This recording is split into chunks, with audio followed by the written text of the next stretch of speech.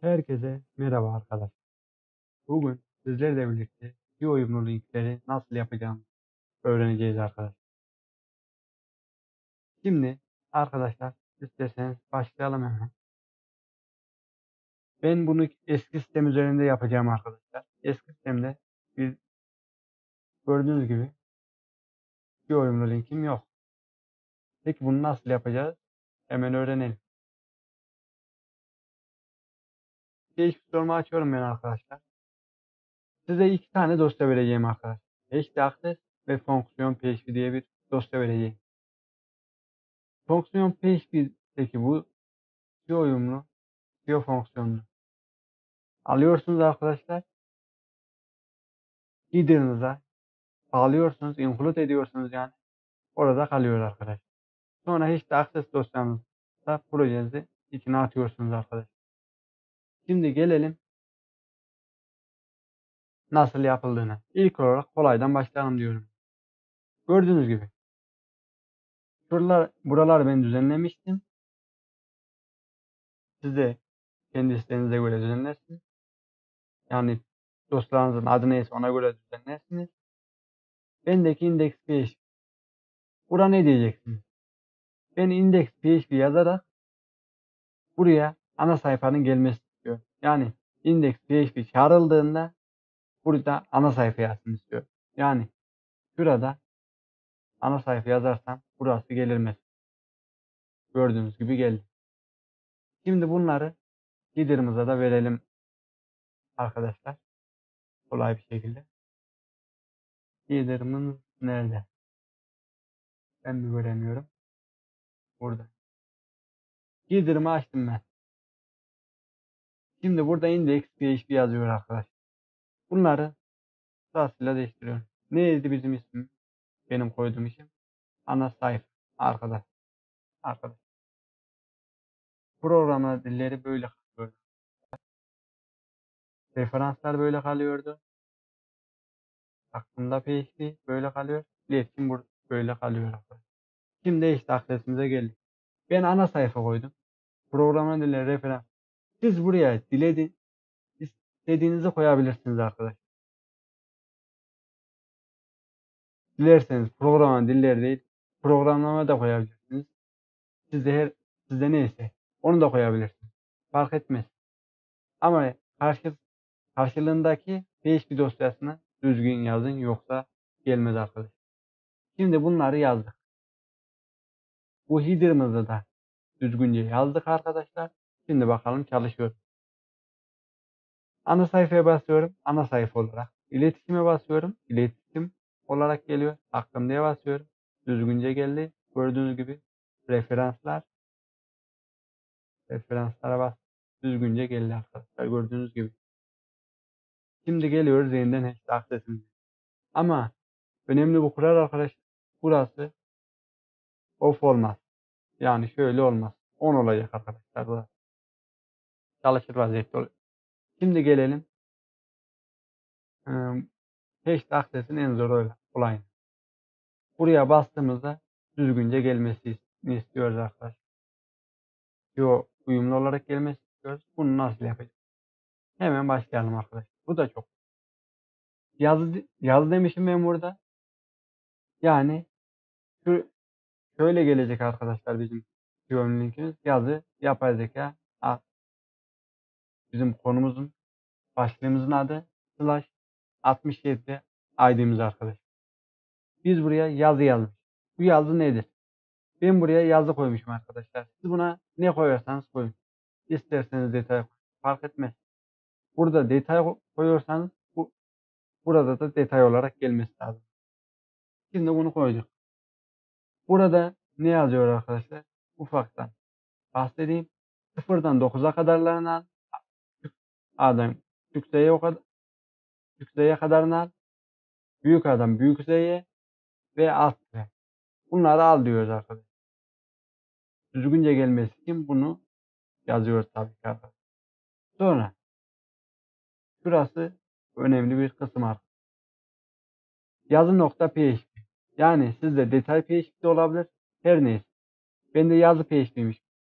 Yazı php mesela. Sizdeki burası neyse buraya onu yazıyoruz. Sonra isim yazmış mı arkadaşlar? Yani veri tabanındaki sizde başlık da olabilir. Firma adı da olabilir. Fark etmez. Ne, ne yazarsa yazsın.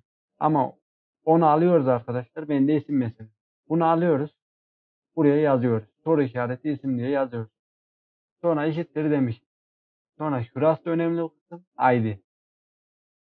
Ben de ID arkadaşlar. Sizde farklı şeyler de olabilir. Neyse artık. Onu buraya yazıyoruz artık. O ID'ye göre çağıracağız. Onu da yazdıktan sonra arkadaşlar geliyoruz index PHP'mize. Nerede benim index PHP? Burada. Açtım arkadaşlar. Şimdi yazı nokta PHP bura benim hmm, linkten link göndermeye. Burayı siliyorum arkadaşlar. Şu oyunlu şeyimi yazmak için böyle bir şey var arkadaşlar. Bunu alıyorum arkadaşlar. Bunu da size videonun açıklama kısmında vereceğim. Grafine bunu yapıştırıyorum. Şimdi çek olmayacak arkadaşlar. Neymiş bende bilgiyi. Buraya bunu koyuyorum. Bunu koyuyorum. Bu SEO fonksiyonumuzun, fonksiyonumuzun adı arkadaşlar. Onu burada çağırıyoruz. Şimdi gelelim buraya. Neydi bizim şeyimiz? Benim başlığımın adı isim. Neydi? ID arkadaşlar bendeki. ID. Şimdi bunu yaptık arkadaşlar. Şimdi bakalım çalışacak. Ana sayfaya geldik arkadaşlar. Devamını okuya üstüne geliyorum. Sol altta gelecek mi? Tıklayayım. Gördüğünüz gibi SEO linkimiz geldi. Ama sayfamıza herhangi bir veri gelmedi. Şimdi gelelim onu yapalım. Neydi benim? Nereye gidiyordu? Yazı nokta PHP'ye gidiyor. Buraya geliyorum. Page ne geliyordu önceden fark ettiğiniz gibi. Ama artık page olmayacak burası. ID olarak gel geliyor artık. ID yazıyorum. Buraya da ID yazıyorum. Get'le gelin. ID geliyor çünkü ben. Size ne geliyorsa onu yazacak tabii ki. Bunu da yazdık. Şimdi bakalım verilerimiz gelecek mi? Yeniliyorum. Şimdi buraya gelin. Niye, neden gelmedi? İşte yazıp değişti. Bunları sorun olabilir. Ya. Neden böyle? değil?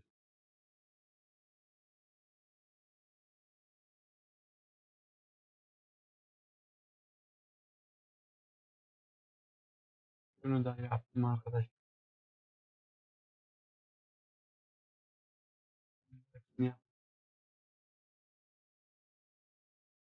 Neden gelmedi? Ah. Haydi. Haydi. Tamam arkadaşlar. Teşekkür ederim.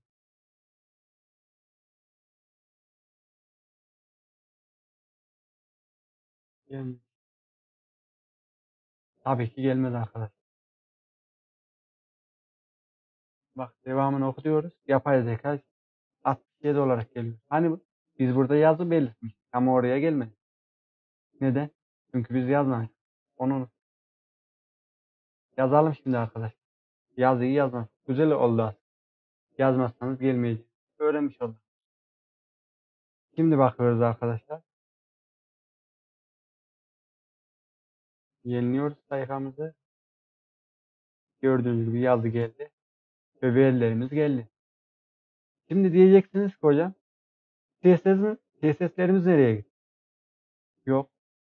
Şimdi gösterelim. Göstereceğim onu. Neden gelmedi niye? Network'e bastım ben bunu. Yeniliyorum sayfamı. Gördüğünüz gibi CSS dosyalarımızı bulamıyor. Bak.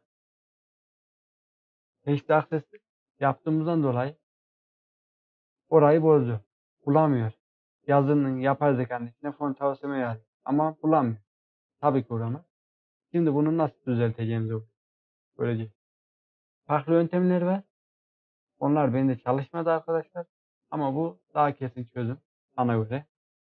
Şimdi arkadaşlar buraya slash slash yazıyorum. CSS yani? Şimdi ben de localhost 8080 slash projeymiş arkadaşlar. Bunu aldım. buraya yapıştırıyorum arkadaşlar. Ve slash diyorum. Slash demiyorum. Çünkü var. Şimdi ben buraya bunu koydum. Siz buraya kendi sitenizi yazabilirsiniz. Çünkü ben lokal host çalıştığım için lokal host'un adresini verdim burada. Siz kendi sitenizin adresini şöyle www mesela ben de arabay yazayım. .com yazıyorum. Düzgün yazamam ama neyse. Slash slash diyorum. Şurayı sıfırlıyorum. Sonra CSS bootstrap'ı bul diyorum. Ve böylece buluyor. Buraya kendi sitenizi yazarsınız arkadaşlar siz. Varsa.